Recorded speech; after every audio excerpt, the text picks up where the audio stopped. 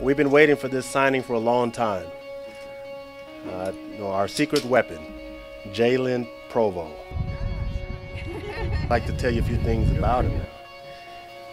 In his uh, first handoff in our scrimmage today, he showed cat-like quickness and was able to run and get a 45, 50 yard touchdown untouched. I mean, it was perfect blocking, but I think all the effort was on uh, Jaylen. Scored the most touchdowns today, you get the game ball. And you also get a chance to break these guys down. They don't tell you what to do to break them down, so the game ball is yours. Boom! There we go.